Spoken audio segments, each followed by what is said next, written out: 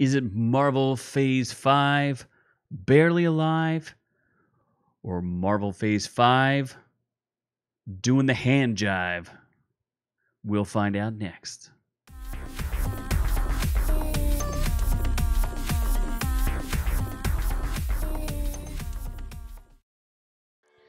That's right, it's me, man. Z from Our Reviews Will Kill You, and I'm here to check out Marvel Phase 5. Are you excited? They dropped a lot of news at the end of San Diego Comic Con, and we're going to take a look and do a little bit of reaction and kind of dissect what we saw. So let's take a look here at the timetable for Marvel's Phase 5. Looks like it's going to start off with Ant Man and the Wasp, Quantumania, and end with the Thunderbolts. We saw quite a few trailers as well. I'm feeling the.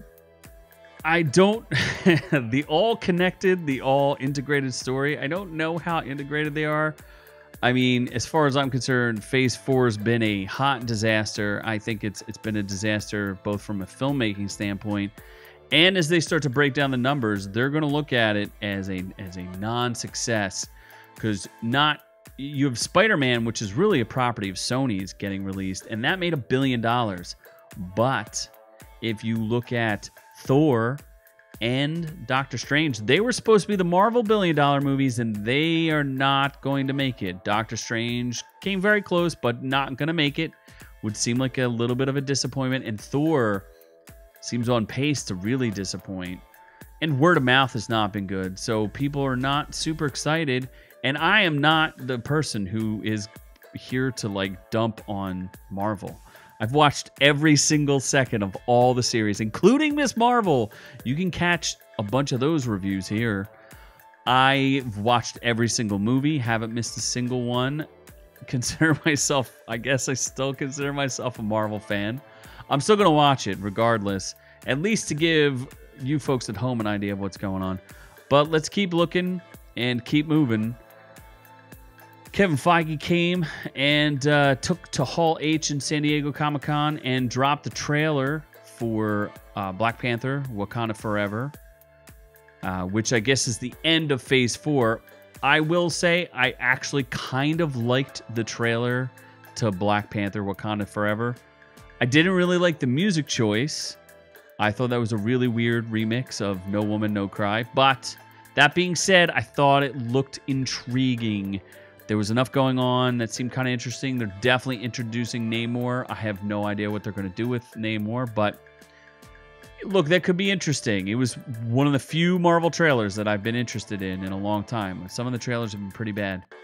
Uh, but Phase 5 will kick off with the third Ant Man film the thing that's a little strange to me is they're going to bring back they're going to bring back his daughter. I don't see why you would bring back your daughter to be a superhero uh, when she has no special powers. I mean, maybe she does, maybe she doesn't. I, I don't know. But it's going to be directed by Peyton Reed. And I guess Jonathan Majors is going to reveal, he's going to reveal himself as a new Kang the Conqueror not super thrilled about that. His original depiction of Kang the Conqueror was kind of laughable, and uh, that was in the Loki show. Not that interesting. Secret Invasion, not sure how I feel about that. You know, I do love me uh, some Nick Fury and uh, you know Nick Fury and Maria Hill. All right, sure. Cobie Smulders. I mean, I guess. I don't really know. I don't know. Oh, it's a Disney Plus series, so your expectations don't have to be too high. And I'm fairly sure that Daenerys Targaryen is starring in it. I think they said that uh, she's going to be in it. So we'll see about that. I am excited about Guardians of the Galaxy 3, Volume 3. James Gunn hasn't disappointed. I did not. Wa- I, am trying not to see too many of the previews, but uh, Will Poulter is going to be in as Adam Warlock.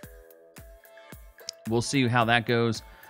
The Marvels sounds like an absolute just train wreck. I don't know what. There's rumors it's going to be a musical. There could be people trolling us. I have no. Ex- you can't take. You got to think that if Captain Marvel is a billion dollar franchise, right? Because the first movie did a billion dollars. Yet somehow it's not called Captain Marvel 2. It's called The Marvels. You know, Thor, Love and Thunder, you know, might not have totally been about Thor, it might have been about Lady Thor. All the Thor movies have Thor in the title. All the Guardians of the Galaxy movies have Guardians of the Galaxy. Not having your lead star in the title of that movie seems a little suspect. You also have Echo, which they recently announced will star Kingpin and Daredevil. Just make a Kingpin and Daredevil story. Please, just do that. I would like that much greater. Oh, wait, they're going to. Uh, Loki season two, mm, not that interested. Just not that interested. Uh, apparently, Ironheart will also debut. Riri Williams is uh, gonna debut in Black Panther: Wakanda Forever. I don't know why they left an E off of that Wakanda Forever. I hope it's not spelled that way. Uh, yeah, not super interested in that either, but I, I suppose I will watch it. Agatha, Coven of Chaos, which is Kathryn Hahn starring in her own solo series. This is one of those, like, the fans loved it. We're going to give her her own series. I don't know if that really works. I mean, maybe if they want to make it a, a comedy, I don't know. Not 100% sure what they're doing this. And then Captain America, New World Order seems a little touch too on the nose. You know, Anthony Mackie taking over as as uh, Captain America. He's Falcon. He already was Falcon. Falcon is fantastic. You don't need to make him Captain America. Falcon and the Winter Soldier is not good, and he it could have just been a Falcon movie. Like, why are you taking cat? Like, whatever, man. You do you, Marvel. And then Daredevil Born Again. This seems like just a they kind of threw it together at the last moment because people really, really love Daredevil. And that was the one piece they they seem to want to take from the Netflix uh, series, obviously.